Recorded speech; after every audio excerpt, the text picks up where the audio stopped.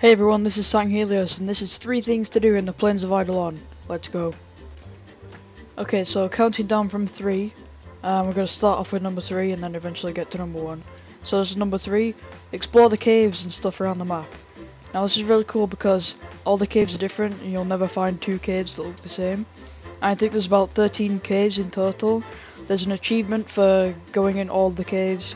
Some of them are hidden in missions, you have to open them in missions and stuff. So it's a really cool system and uh, once you find a cave entrance it will be marked on your map like this one and the one up top. So this was in my previous video.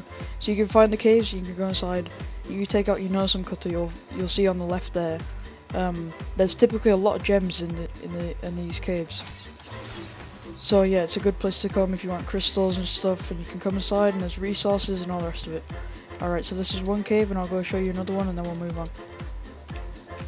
Alright, the cave is just here. There it is. So I wanted to record the entrance of this one because it has a really cool entrance. Instead of just walking inside like the other one, this one you have to drop down this big hole.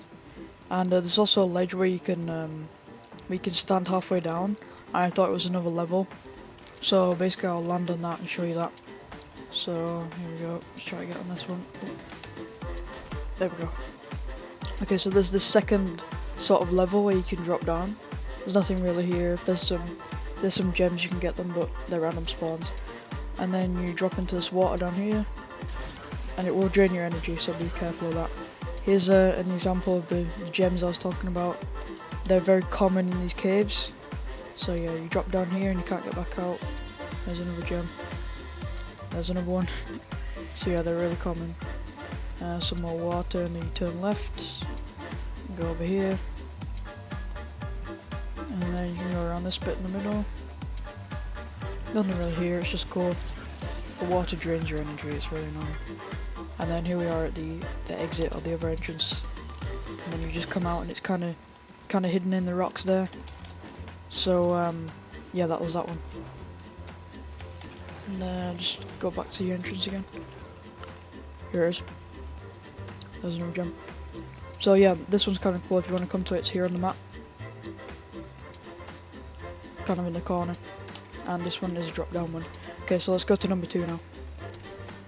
Alright, number two, visit the zip wire. It is here on the map, in the far right corner, in the Grineer camp. Um, next to those two caves I just showed you. And this is really cool because it's a down downwards um, zip wire or zip line. And basically that means you can slide down the whole thing. And it's really long as you can see. It goes from that tower to this post right here and it has like a platform to get onto it and stuff. And it's quite cool because there's a camper down there, and there's this this turret right here that shoots missiles at you. It's kind of epic, like that. And then this this camp right here will be full of Grineer as well. So basically, just hop on the zip wire and slide down. It's pretty cool. And if you come here at sunset, the sun will rise right over there. So it's pretty pretty cool. And yeah, it's a cool cool thing to do, a cool place to come to. So if you're bored or something, and come here, come here and check this out. There's two turrets and they're constantly firing missiles at you. So I guess it's kind of a game to, to dodge the missiles. So six missiles in the air right now. You can take these turrets out, but it's more fun without them. Oh, come on. So yeah, you can stand on this and take out the tower, or the, the camp down there, jackets down and let them die. Yeah, they shoot at you, this camp up here will shoot at you. I killed them because I had to get on it this turret, that turret.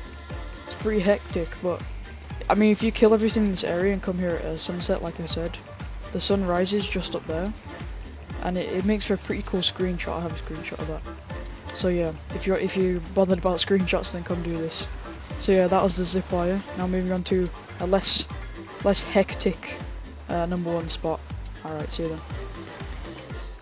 Alright, and taking the number one spot, I think that number one deserves climbing one of these shield generators, as you can see here, these big things that put the shield up around the plains. So, the reason this is number one is because I feel like a lot of people do this as soon as they come in, because it's, it's quite obvious, like climbing one of these, but to, um, to some other people it seems like a waste of time. So I'm pretty sure you can do this on every single one, it doesn't matter which one you go to, as you can see they're all, all lined up along here. And um, yeah, So basically I'm gonna climb this now and I'll see you at the top. Okay, so I'm about at the top, one control jump left, oh, ah, there we go. So you can stand on this rusty metal bit in the end.